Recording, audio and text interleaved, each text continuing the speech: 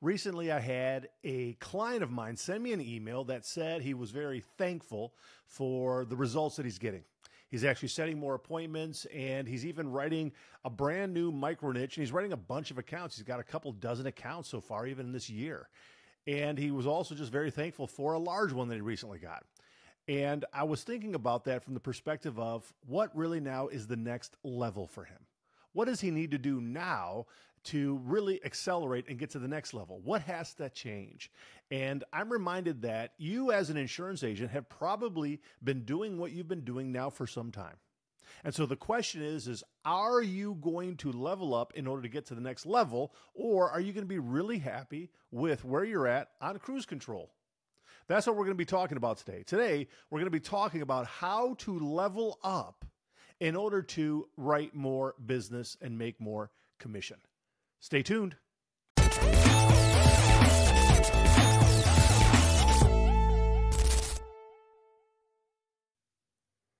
Hey, everybody, my name is Charles Specht. I'm the host of the Millionaire Insurance Producer Podcast. Thank you for being here today. Absolutely. Thank you for being here today. Do you enjoy leveling up? Do you like to go to the next level? Or are you someone that just very much, very often gets used to the status quo? The status quo can be a very good thing if you are in the right place. But the status quo can also be shackles and weights on your ankles. If you've ever tried to run a sprint or a marathon or anything like that with weights on your ankles, you're not going very fast and you're going to get tired much more quickly. See, the problem is that you, as an insurance agent, we, as insurance agents, producers, salespeople, is that so very often we are doing things that are slowing us down, where we're not able to actually get to the level that we want to get to. And so I want to talk to you in this episode about the need to level up, because I do believe that this is probably one of the areas that most insurance agents are relatively deficient. And even for insurance agency owners, I would tell you, you guys need to just sort of take a step back and look at your agency to where it's at versus where you want it to go. Because for the most part, it is quite unlikely that to get to where you want to go, you can continue doing what got you to this point. That something dramatic has to change. We're going to call that leveling up. We're going to call that leveling up. You know, I actually work with a lot of different insurance producers from all over the United States and Canada. Uh, those are typically where my clients tend to be at. And for the most part, I would say they're all over the spectrum in regards to the size of the types of accounts they go after, what types of products they sell, commercial insurance, personal lines, employee health benefits, and so forth. Uh, a lot of different people are focusing on a lot of different things. I have clients that are also writing really large accounts. I have clients that are writing small accounts. Many people might think that I sort of mostly work with uh, agents that are at bigger agencies and so forth, and that's really not the case. I definitely have clients that are there, but I would say I kind of work with, really with the standard insurance agent and agency that's out there, and that tends to be sort of a small to medium sized agency. So that tends to be the primary agencies that I'm working with as well. But I want to tell you just even kind of the differences in regards to what can be done. I have one client who he got a broker of record letter. We kind of worked on this over the course of several weeks, and he got the broker of record letter on an account that paid him $1.1 million of commission, not premium, commission. $1.1 million of commission. It was an employee health benefits client. And I have other clients all over the spectrum, all the way down to those that are working on stuff that might be several hundred dollars or maybe just a thousand dollars or so of commission. It depends on a lot of different factors. A lot of these factors come into play based upon the size of the agency, the geographic location of the agency, and even then what is sort of the bread and butter of this agency. You know, if you are working at a small agency, you're probably not going after very large accounts because you don't have maybe even the servicing team behind you to service those accounts on a go forward basis. Maybe you don't even have access to a lot of the markets, and that's okay. We work with you where you are at. And frankly, if you have access to one insurance carrier that is really good at what they do, you can be very, very successful. But I know this to be the case that if you're an employee health benefits agent or agency, getting access to the markets isn't a thing. That's not hard.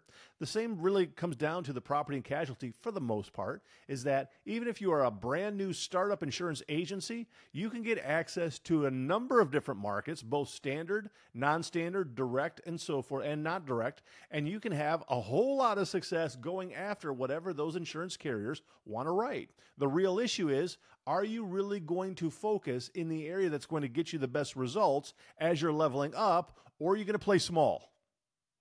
Or are you going to play small? I want to ask you a question. Mr., Miss, Mrs. Insurance Agent, producer, are you going big or are you playing small? That's the issue. That's the issue. Going big or playing small. Or I guess there really is a third option here is that you're just playing it safe. You're either going real big, you're going after your big stuff, you are leveling up, or you're kind of just playing small. You're just, you know, you've been playing small, or you know what, you've been on cruise control for a while and you've just been playing it safe. I'm not here to say that either of these is right or wrong because every single person is different, your geographic territory, your agency, and all that kind of stuff. But you're the person that has to look yourself in the mirror.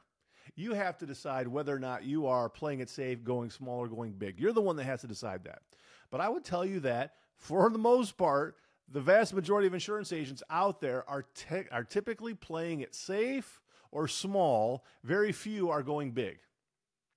Very few are going big. So there's a lot of different insurance agents out there who have different size books of business. Uh, the vast majority of them are going to be under a million dollars of commission, whereas there's a very number, a very large number of agents that have a million dollar or more book of business. But that number decreases dramatically when you start talking about even a $2 million book of business or greater. It's just hard to get to that point, let alone a three or a four, or some agents out there that have a $5 million commission book of business or seven.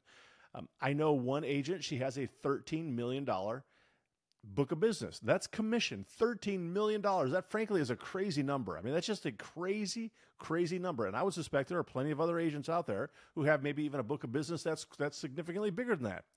But $13 million, guess what? She's been in the business for quite some time and she knows what she's doing. She is a beast, an animal. She is a closer, and she goes after very large accounts.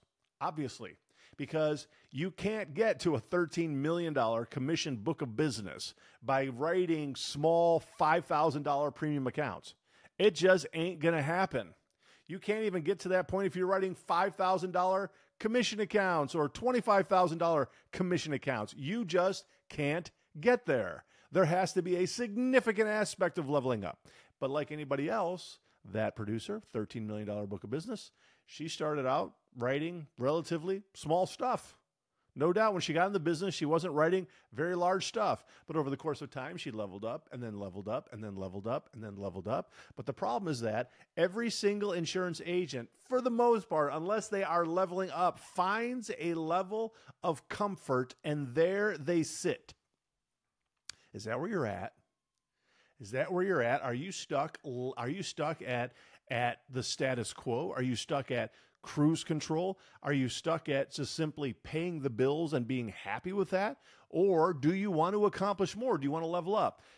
It is not difficult to level up. It is probably, however, one of the more difficult decisions to make in regards to leveling up. Is that it's really up here. I'm pointing on my your head. I'm, I'm pointing on my head. It's it's a mindset shift. It is a game in the head because you can't level up and still regress to writing the old stuff that you were used to. In other words, you have to turn your back on what got you there in order to focus your attention on getting the next level. And so, if you are going to level up the size of the account significantly, then that's going to require you do a completely different type of work. Now, this might look a little bit different for each person. I tend to focus on commercial insurance agents. I have a fair number of personal lines as well, but there, frankly, there's no difference. It's just the numbers at the end of the day. You might be a personal lines agent who's just like writing, you know, thousand to three thousand dollar premium homeowners accounts do you really have to stay there? Can you write bigger accounts? Can you go after bigger high net worth accounts? Can you go after, instead of just sort of like working on the stuff that calls into your office, which really isn't going to be, for the most part, large accounts, can you start calling on very large business owners who are probably going to have, you know, an extra cottage somewhere. They've got a vacation home. They've got a Lambo in the garage and they've got other things. And so that premium is going up significantly. Absolutely, you could. But what does it require? It requires that you stop calling these people back who are calling in trying to save 50 bucks on their homeowner's insurance policy. It requires a, a just sort of a pushback on mediocrity in order to get to the point that is going to level up. The same thing goes with writing commercial insurance. What size premium, if you were to look at the types of accounts that you wrote last year, what is the average size premium account that you wrote? Let's get rid of maybe your largest one and your smallest one, and then what did it average out to? That's going to be sort of your sort of cruise control. That's going to be where you're at right now. What would it require then to get to that next level? If you're finding yourself that your typical account is say maybe around seven, eight thousand dollars, it's going to require a significant uptake. Look, I can also tell you that you are not ever going to get to the place of wealth if you're going after $7,000 premium accounts. It is not going to happen. Literally, it is not going to happen if you're going after $7,000 premium accounts. Now, that's a big difference, maybe, for example, if you are an agency owner or if you're a producer. Those are two completely different aspects on maybe the answer on this. But even for those who are agency owners, please, please, please do not be going after $7,000 premium accounts. I'm not saying you can't write them. I'm just saying, why would you want to? If you can write bigger accounts. You probably know this maybe better even than I do is that the small accounts tend to be more problematic. They tend to go into cancellation mode for non pay so much more. They nickel and dime you for a, a, number of different things. The larger accounts, they tend to be a little bit more sophisticated. They tend to not have cash flow issues. They're going to pay their bills and they understand what it is to run a business and are not going to be worried about little bitty stuff. And so it's just a it's a difference in the mind. It's a difference in your mindset on what type of an account are you going to go after. And so again, I ask you, what is the average size of the premium accounts that you have been writing in the last 12 months? If it is small, say like I would say if it's somewhere between 5 and $25,000 of premium, then you probably need to multiply it anywhere from four to 10 times. You need to multiply it by four to 10 times. If I would just say there's really no reason why any commercial insurance agent who is an independent agent should really ever be spending their time quoting on stuff that is less than $35,000 of of premium. Premium. I mean, there are so many accounts out there that are just bigger than that. Why would you waste your time on those small accounts? You say, "Well, Charles, that's uh, you know they just they keep calling me. I'm just I can I can close on those easier." Oh, oh, okay. Um, I guess you just want to sort of pass by on the hundred fifty thousand dollar premium accounts. Then, you know, you could just be working on those and you know write a bunch of those, and that would go really well, right? I mean, couldn't you do that? I think you could. I know you could. You absolutely could. What's stopping you? It's up here. Mindset.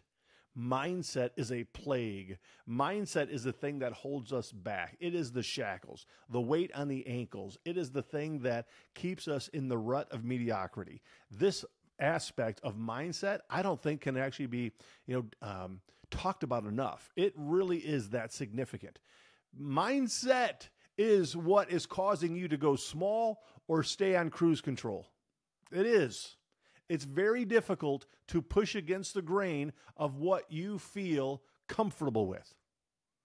But you can't level up if you don't actually do something different. So, how can you level up? Uh, maybe a couple things. I want to talk to you. Just a couple of things. Is that first and foremost, you have to decide do you really want to? Do you really want to? And again, I'm trying not to be judgmental here. Yeah, you can do whatever you want. That's, that's why the insurance business is beautiful. Um, if you are happy with what you're doing right now, then great. Who am I to say something different? I don't get to decide what your life is going to be. You get to build what you want to build. You want a, you know, a $300,000 book of business and you're happy with that? Great. I applaud you. I mean, if that's what you want, then you have made it. Awesome. Congratulations. But I would suspect you're probably listening to this podcast because that wouldn't be adequate for you. You're not going to settle for a $300,000 book of business when you ra- would rather have a $3 million book of business. And you know, you you know this. You absolutely know this that you can't get to a $3 million book of business doing the same stuff that got you to 300,000. It just can't happen. And so, you got to level up. So, ask yourself, what do you want to get to? what do you want to get to? And I would say definitely take some time brainstorming here. Write stuff down. You know, what is your what types of accounts do you want going forward? What micro niche industry? Um, what size of accounts? What geographic territory? What policies are you going to write for them? You need to really kind of decide your ideal client and then your micro niche that you're going after, and frankly, the size of the account the size of the account. How many clients can you handle? How many can you manage? How many gets to the point at which you're starting to pull out your hair and you're really not too happy anymore? Because everybody has that sort of tipping point that you're just not willing to to go past that point, tip over and then just be unhappy with life. We don't want to do that. And so everybody has to figure out what that point is. You have to decide at what type of account, size of account are you going to go after versus not go after because that premium size, which you know is ultimately going to transfer into commission. Because I mean, you know this. I like to talk commission, not so much premium. For the sake of this episode, I'm talking premium because usually it's going to translate into commission. But I mean, look, I, I, I have seen hundred thousand dollar premium accounts written at two percent and fifty thousand dollar premium accounts written at ten percent. Guess which one I would rather write? Absolutely. But that is not normal, right? That is not normal. In fact, I would tell you to sort of step back, look at the accounts that you're writing, also look at the carriers you're writing with and the commission split or percentage that they're paying you. What commission percentage are these carriers paying you? And whatever they're paying you, ask for more. Every single time you get a quote, ask for more. If they're giving you a quote with 12, why can't they give it to you with 14? If they're giving you a quote at 15, why can't they give it to you at 17? Ask for it. It's amazing what you get when you ask. And if you go from, say, a 10% commission to an 11%, I mean, that's 1% in commission, but that's really close to about like almost 10% in the actual uh, revenue. And so if you do that on every single account that you write, you're going to write additional 10% revenue over the course of a year and even your lifetime if you do it over the course of your lifetime. And so you build your book of business based upon that. Look, it again, it's talking about leveling up and not settling for what is just given to us. Can't just level up by settling. That just can't happen. So I would say look at the carriers and the commissions that they're paying you. And then I would definitely take a look at the ones that are paying you more. And that's the playground where I'm going to play. That's the pond where I'm going to swim. I mean, why really would I want to spend my time focusing and writing business with a carrier that's paying me 7% or 9% when I can focus on a carrier that's paying me 15 or 17 or maybe even as high as 20%? I know exactly where I'm going to spend my time because that carrier that's 15, 17%, 20%, they are absolutely very, very competitive, maybe even the number one most competitively priced insurance carrier at a certain number of micro niches. You just got to figure out what they are. When you figure out what they are, then you write as much of that business as you can at the larger commission split, and you're going to be so much happier look, this just comes down to the numbers, and prospecting is a numbers game. It is absolutely a numbers game. Prospecting is a numbers game, and this prospecting attitude also takes place in determining which carrier you and your agency will write business with. And so I want to speak to you as insurance producers. Please don't be one of those producers who ends up getting a quote, places the business, and after it's done, you ask, by the way, how much commission were we getting on that account? Don't be that person. You don't want to be that person. That I think is lazy and it does not do a very good job for your agency going forward. I'm not saying don't write the business if that is the best place to play it or place it. Don't say that I said that. I'm not saying that. I'm saying that before you even get to that point, you should be deciding which carriers you're going to be placing business with. Absolutely. You absolutely need to do that. Why? Because this is war. And because inflation is a real thing, because the dollar doesn't go as far as it does anymore, and because, frankly, if you are going to level up, you need to make more money, period. At the end of the day, that's it. You want to write bigger premium accounts at a higher commission percentage, and you want to write more of those accounts every single year. And if you can write bigger accounts with higher commission percentages and write more of those accounts, that is a trifecta of success. Higher premiums, bigger commission splits. You are you are going to be having like I just man, I just think about this. A, a lot of success writing more accounts. When you really start to like take a step back and ask yourself, what am I going to go after this year? You start to put together a strategy, a process on what you're going to focus on. And when you focus on the right type of size of a premium account, you're going to end up just making more money. When you start looking at which carrier you're going to place it with, with a larger commission percentage, you're going to make more money. And if you do it right, you should be able to write more accounts in the year. So you're going to get more commission, more accounts. This is really how you begin to level up it frankly is um, it's kind of interesting when i take a step back and look at it from my perspective that how many different agency owners and producers do i speak to that really have no idea which insurance carriers they're planning to place business with or work with and they really are kind of throwing mud against the wall to see what sticks. They really are. I just think that that's not very strategic. If there's one thing that I know about what I sort of focus on in regards to my sales strategy and so forth, is that we do things for a reason. We have a purpose. There has to be a strategy attached to why we are doing something. There has to be a strategy attached to why we are doing something.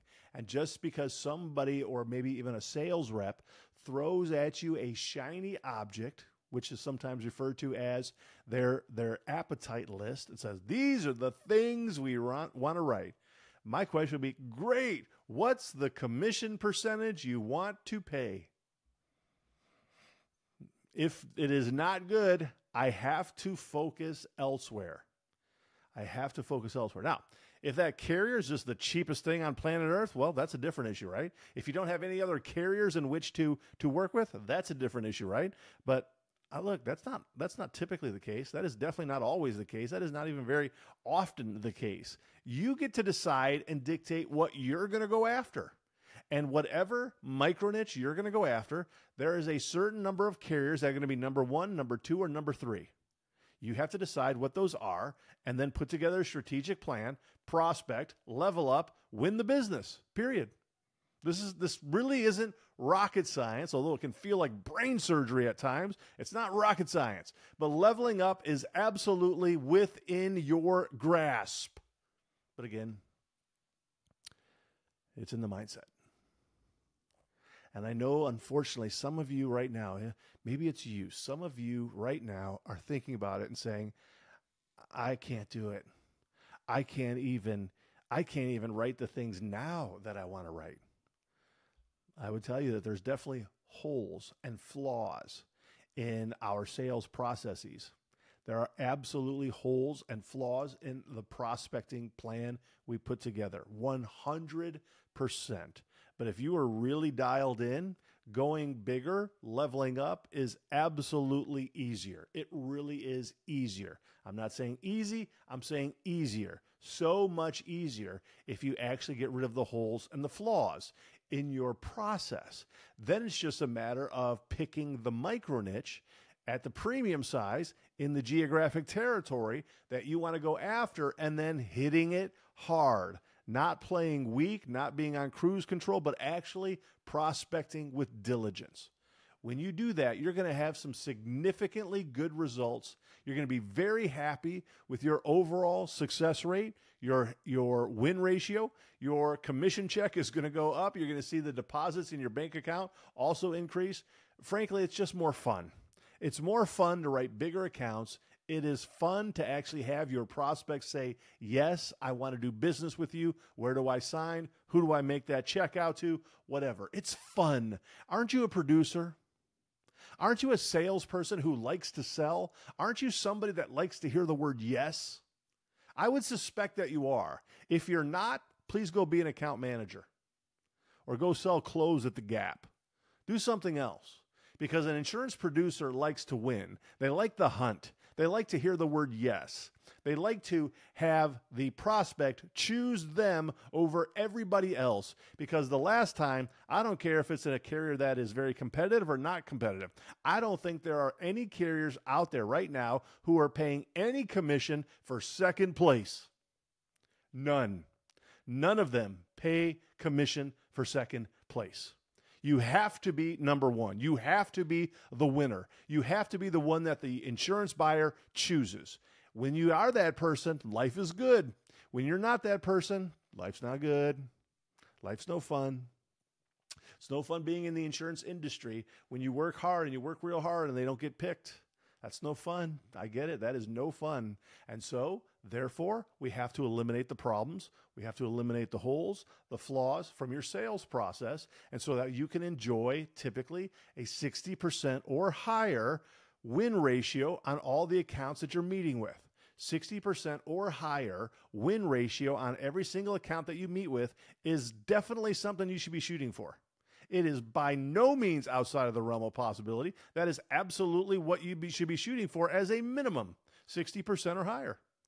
Absolutely. If you're not hitting that, something's wrong. Something is dr- drastically wrong. You, you maybe don't have the right carriers for the type of business you're going after maybe it is a process, a problem with you just not getting enough at bats. You're not getting enough prospects to meet with you. Yep, could be a number of different things. Maybe it's that you're not coming across with enough empathy, and so they're not actually, you know, feeling that you get them or understand them or that you care. Or maybe you just have commission breath, and every time they see you, they just think that there's dollar signs in your eyes. There could be a number of different reasons why you're not having the success, and so you've got to be able to find those holes and those flaws. But when you find those holes and those flaws, you can level up. But only those who level up are hunters, period. Account managers are happy with the status quo. Account managers are happy with their little salary and that they make every single week and it doesn't go up, it doesn't go down. They're quite happy with that. Nothing wrong with that. We need account managers. But this isn't a podcast for account managers. This is a podcast for producers. I love my account managers. I love them all. I hope they continue to do a great job and that they make their salary. I hope they make their, their salary and earn it every single week.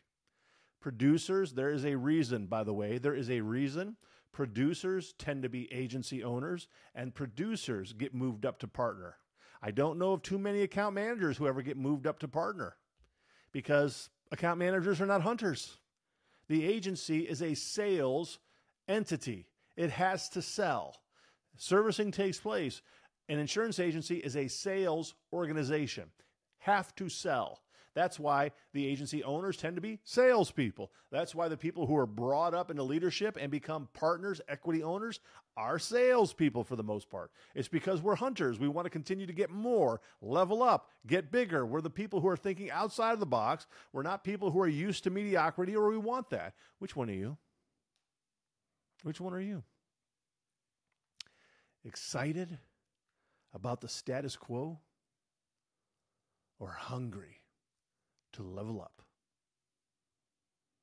My name is Charles Specht. I'm the president CEO of Permission Network Insurance Agency, where I teach and train insurance agents just like you how to build a $1 million or more book of business through signed broker of record letters. This is the Millionaire Insurance Producer Podcast.